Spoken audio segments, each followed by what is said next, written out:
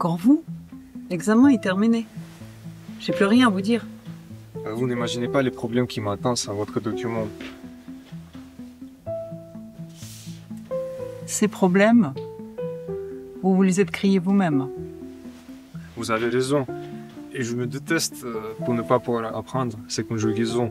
Mais euh, je vous promets, C'est ce que beaucoup se disent. Parfois toute leur vie. Et maintenant, je dois retourner à mes occupations. Si ça vous dérange pas, au revoir. posez-moi n'importe quelle question. Et si je réponds à nouveau incorrectement, Vous avez entendu quand j'ai dit au revoir? Tout le monde mérite un deuxième au revoir. Qui vous souffle des mots? Montrez-moi votre téléphone.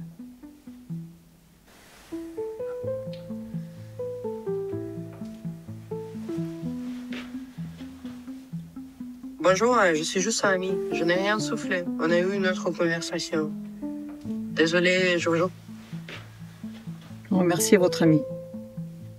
Un instant, j'ai cru m'être trompé dans mon verdict. Mais je, je vous ai tout montré. Peine perdue. Vous étiez seulement trivial.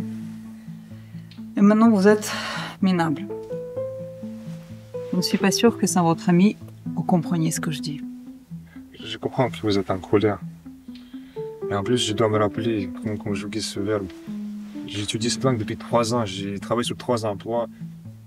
Je n'arrive pas à me rappeler de ces mots. Je dois. Tu dois. Vous devez. Ça, je me rappelle. Il. de- Il. de- Quoi? Je ne me souviens pas. Vous devez me laisser tranquille. Ou dois-je appeler à l'aide?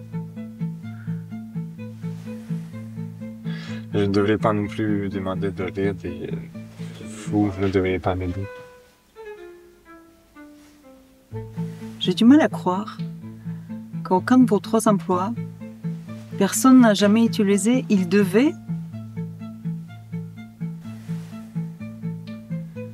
Ils l'ont dit. J'ai oublié. Surtout au passé. Dites-le en russe. Il devait. Они должны были. Должны. Должны, должны, должны. Но ничего не сделали. Alors, je dois partir au diable, comme vous savez. Je n'ai pas dit au diable.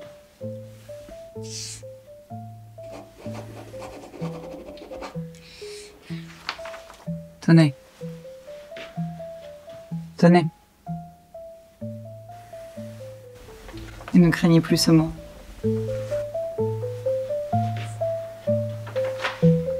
Merci beaucoup.